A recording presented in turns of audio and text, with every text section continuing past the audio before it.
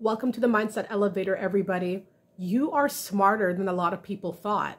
A lot of people, you know, are surprised about your level of intellect, about your level of knowing.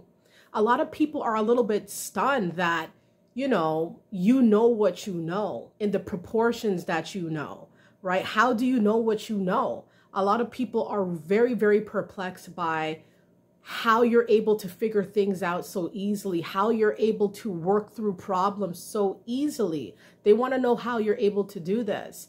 People didn't think, they looked at you, they scanned you, they sized you up, they thought that, nah, this person is gullible or naive. They don't really know much. They don't really know anything, even. They don't look like they know much. So I'm going to be able to have the upper hand over this person or you know take advantage of this individual until when they make that choice they're going to see that it was they shouldn't have done that because you know what's going on your level of intellect could startle people and put people off when you come around so they know if they try to test you you know they're not going to pass this test. They're not going to be able to trick you because you know what's going on. You're a very smart person and they didn't think that you were that smart.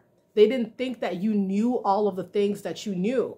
They didn't think that you studied or that you you had a tendency to be studious.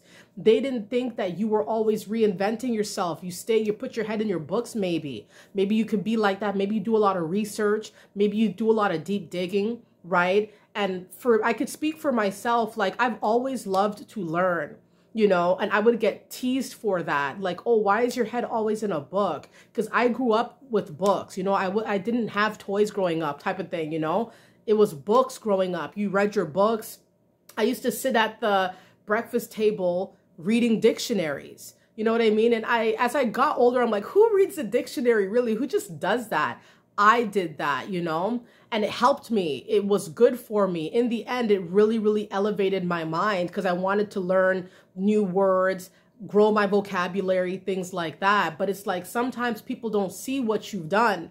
They don't see that you are a very studious, diligent person who likes to learn and likes to grow. And not only are you book smart, maybe, but you're street smart, you're spiritually sound, you know exactly what's going on around you. And some people may have tried to come up against you and didn't understand that who they were coming up against was a person who was well versed in a multitude of you know facets or you know avenues. You you you probably have a vast mind. You know your mind is probably expansive. And there's not a lot of things that people can do to break that there could be some tangible things that people think, oh, they could pick at, they can mock, they could tease, they could bully, they could get at.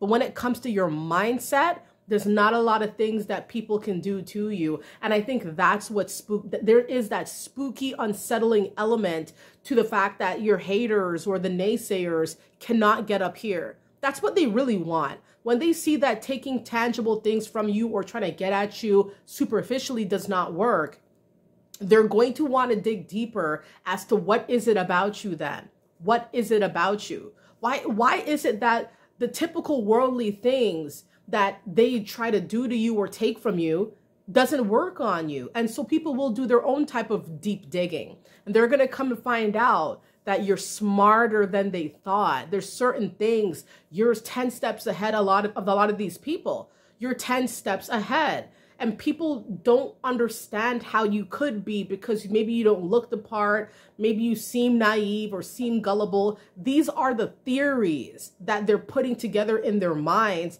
as to who you are as a person, therefore, how they could treat you as a person.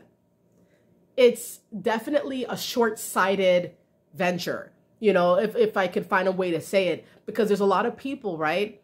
They they may know you're smart. They may know that you know things, but they don't know how smart in the grand proportions that your intelligence dwells in. They don't understand that. That's the thing, the enormity of it, that goes over their head. But not a lot of things go over your head. Like you see everything that's going on. You understand. It's almost like you are you know, you know, you're just you're just different. You're just different. It's not a lot of people like you walking among yourself, you know, like you probably stand out because you're very smart. You stand out because of the different levels of intelligence that you have. Like I said, you could be book smart, but you could be street smart, spiritually sound, spiritually smart. Like you know what's going on.